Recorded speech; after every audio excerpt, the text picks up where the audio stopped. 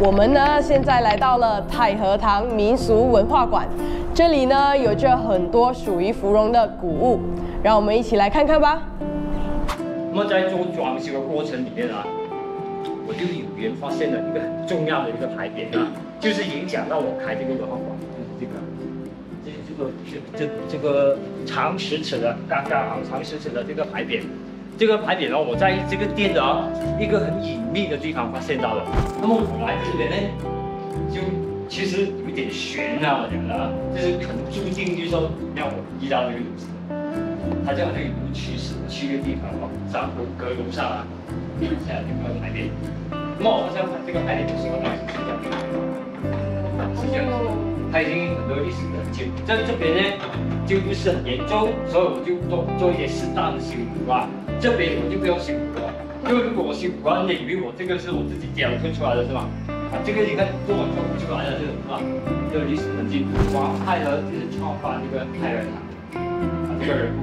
哦，所以你就用太和。是，你想想我我这间店啊，百年前啊，啊，一九二一年做洋货的时候是叫做太和堂。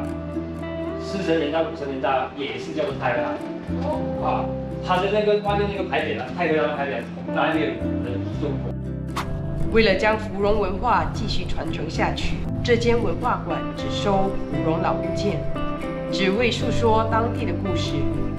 踏入太和堂民俗文化馆，仿佛进了时光隧道一样。推开门，仿佛那个时代再次重现。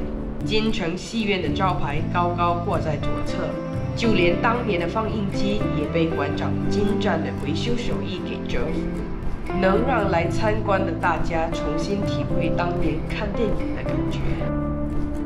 那南风吹来清凉，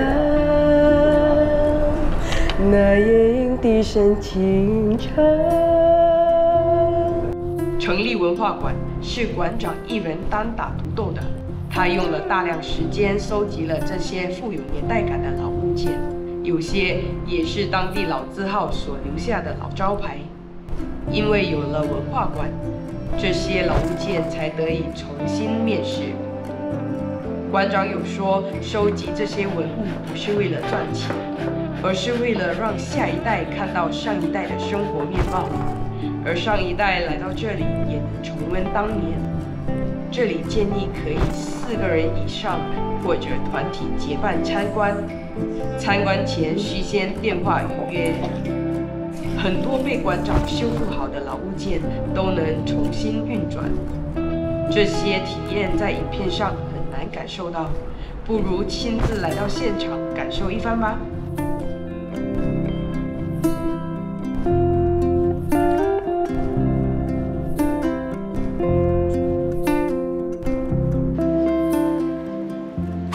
这个五零年代的电影放映机到现在还能播放影片哦。你想知道以前人是怎么样看电影的吗？那就需要你亲自过来一趟体验喽。影片下方描述栏里的导航地图，你只要点击一下就可以来这里参观喽。记得帮我们订阅、按赞、分享、开启小铃铛。